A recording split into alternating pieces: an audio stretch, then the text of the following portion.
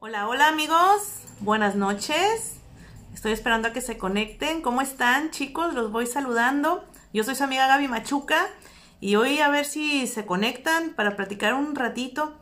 Eh, estaba hace rato que terminé las consultas, hace como unos, ¿qué será? Unos 15 minutitos. Y dije, voy a platicar con mis amigos de este tema porque eh, a veces ese es el coco de muchas personas, ¿verdad? El, lo que más nos angustia, el querer tener el control de todo, ¿sí? Y estaba pensando en eso y, y dije yo, ay, muchas veces pues escucho casos, ¿verdad? De personas que pues me inquietan, me pongo, eh, pues me siento como conmovida por los casos de las personas que atiendo a veces y, y pues qué quisiera yo, ¿verdad? Y se los digo a veces en consulta, que quisiera yo arreglarle su vida, ¿verdad? A todos, ¿qué quisiera? Es más, uno quisiera, ¿verdad? Arreglar la vida hasta de su familia, de sus amigos, arreglar el mundo, eh, y a veces no me puedo arreglar ni yo. O sea, me quiero arreglar yo primero. Eso sería lo principal. ¿Qué debería arreglar en mí? Pues el primeramente el aceptar que pues quisiera tener el control de todo. ¿Y cómo sería arreglarlo? Pues aceptando, porque cuando a veces me doy cuenta, amigos, no sé si a ustedes les pasa, de algo así, por ejemplo, que me doy cuenta que quisiera tener el control para que las cosas fueran como a mí me guste, ¿verdad? Y que todo fuera felicidad y todo fuera color de rosa y, y todo saliera de una forma maravillosa, pero pues no, o sea, muchas veces no se puede. Y en mi caso, amigos, lo más duro ha sido esa lucha de decir, no debería sentirme así. ¿sí? Eso ha sido lo más doloroso cuando me doy cuenta de algo como por ejemplo eso, que quisiera tener el control de todo. Es más doloroso luchar contra eso y decir, no debería sentir esto. ¿Por qué estoy sintiendo esto? Yo no debería sentirme así. Entonces, la forma de arreglarlo es no ser duros con nosotros mismos, ¿sí? Que si tú aceptas que estás queriendo tener el control de algo, dejas de batallar con ese no debería, no debería, ¿por qué soy así? Y entonces te estás culpando y culpando y culpando y te sientes peor, ¿sí? ya ni siquiera te acuerdas qué es lo que querías controlar, pero ya te sientes peor por estarte culpando y estarte regañando porque no quiero, yo no quisiera, no debería, ¿por qué soy así? Yo debería ser como cierta persona que él o ella no quiere tener el control y llevarle gorro la vida y lo de los demás y se, y se preocupa por sí mismo nada más o se ocupa de sí mismo o sí misma y yo no. ¿Por qué? ¿Por qué yo soy así? ¿O por qué yo no soy así como esas personas? Y eso duele mucho, ¿a poco no? ¿Te ha pasado? ¿Tú te regañas a ti mismo o a ti misma? Dice Eli Moscot Reyes, dice, soy perfeccionista y me gustaría tener el control. Me molesta que no salgan las cosas como mi mente las planea. Muy bien, Eli, eso ya es un avance. ¿sí? Se los digo en consulta y se los digo también aquí en los videos y en YouTube. Es un avance que ya te des cuenta. Date cuenta de eso y obsérvalo. ¿sí? Observa cuando llega esa, ay, esa sensación, esa ansiedad, cuando ya quieres controlar, viene la ansiedad. Entonces, tampoco hay que regañarnos por eso, porque luego, ay, ya ve, ya me vino la ansiedad porque quiero controlar y ve por qué soy así. O sea, ni tú, ni yo, ni nadie pedimos sentirnos de esa forma, simplemente nos sentimos así, o no, ¿verdad que sí?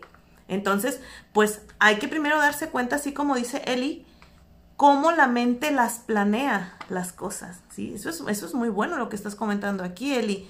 Ya te estás dando cuenta que eres perfeccionista, ahora date cuenta cómo te sientes al querer ser perfeccionista, ¿sí?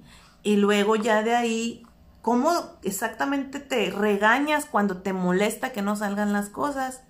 Y luego ya date cuenta cómo tu mente las planea. O sea, cacha a tu mente, mi querida Eli. Y así para todos, amigos. Entonces, eso es ser buena onda uno con, uno mismo, ¿sí? Ser uno amable con uno mismo porque son cosas que uno no, no pide, ¿sí? No pides sentir eso que sientes o ser como eres, pero ya en el momento en que te das cuenta, ya tú puedes empezar a decir, ah, caray, sí, me estoy dando cuenta que quiero controlar ahora. ¿De veras me conviene querer controlar? ¿Qué tanto me conviene? ¿En qué aspecto? Y no por el lado de conveniencia como mucha gente lo interpreta como, ay, convenenciera malvada o malvado. No, no, o sea, que tú te pongas a ver si de verdad estás tomando una ventaja, si tomas el control o no, ¿sí? O en qué situaciones, porque por ejemplo, si tú te metes a un pleito de pareja, por ejemplo, de alguna vez alguna amiga y un amigo que eran pareja se pelearon y yo ahí voy, no, no, no. Estos muchachos se tienen que poner bien. Se tienen que poner en paz. ¿Qué es eso? O sea, ya, se tienen que poner bien. Ahí va la Gaby, hace muchos años. A ver, muchachos, pónganse bien. Porque ustedes deben quererse, deben amarse, bla, bla, bla, bla. Y como yo era amiga de los dos, por querer tener el control, o sea, querer yo arreglar esa relación, me dicen los dos, ¿con quién te quedas? ¿De quién quieres ser amiga? ¿De él o de, o de mí o de ella? ¿Sí? O de él y o de mí, ¿de quién quieres? Y yo, ¡ah! o sea, ahí me metí yo porque en ese tiempo no tenía pues alguna seguridad en mí misma y me sentí como en un conflicto, ¿sí? Y muchas veces eso es lo que nos sucede cuando queremos tener el control de algo, no medimos qué es lo que va a pasar después, ¿sí? Pues al final, ¿qué creen? Dejaron de ser mis amigos los dos, ¿sí? Porque yo dije, bueno, pues a los dos los quiero, los dos son personas que estimo, pues no puedo tomar una decisión mejor. Nadie, fíjense, esa fue la decisión que tomé yo en ese tiempo y me dolió muchísimo, pero en ese momento fue la decisión que me convino. Hoy, que ya estoy grande, porque en aquel tiempo tenía como 20 años o, menos, pienso diferente y podría haber dicho en aquel entonces, no, pues saben que pues ustedes arreglense y ya me hablan, ¿no? Cuando quieran, si me quieren hablar, pues bueno, pues yo aquí estaré, ¿verdad? Pero en aquel tiempo no pensaba así, entonces tampoco puedo controlar lo que ya pasó, que es algo que a muchos nos angustia. Entonces, mañana vamos a tener un tema largo y tendido en YouTube, amigos, para que se, se conecten acerca del control. Se va a llamar ¿Me conviene o qué tanto me conviene querer controlar? ¿O qué tanto me conviene tener el control de todo? Así más o menos lo voy a poner. No he decidido el, el título bien, pero más o menos así va a ir el asunto, chicos. Entonces, mañana ahí los espero, ¿sí? Por YouTube. No me falle porque va a estar muy interesante el tema. Si ahorita con lo que estamos platicando te estás dando cuenta de algunas cosas, mañana va a ser todavía más para que te des cuenta, pues, qué tanto te beneficia tener el control de algunas cosas, qué tanto no si te quieres dar cuenta si estás controlando y por eso te sientes tan estresado estresada, porque el controlar es más quererlo hacer con la mente, no que quieras mover cosas, pero casi así lo sentimos, ¿no?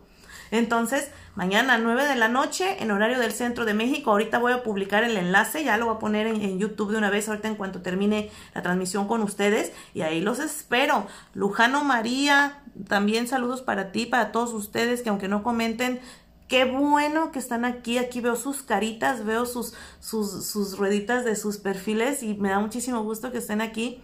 Los quiero mucho y pues denle like a nuestro canal de YouTube, suscríbanse a nuestro canal. Eh, vean nuestros videos si les gustan, compártanlos, denles like si les gustan.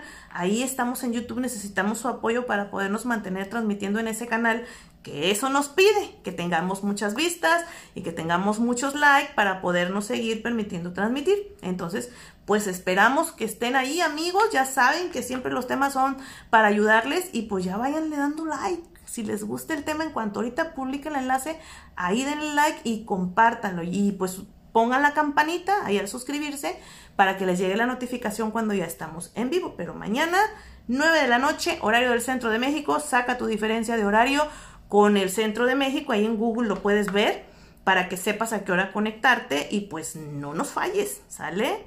Muchísimas gracias por estar aquí, ahí los veo mañana, no me fallen, voy a estar publicando aquí en Facebook los enlaces para que estén pendientes, ¿sí chicos? Tengan una linda noche, mediten lo que platicamos hoy para el tema de mañana. Muchos besos, bye bye.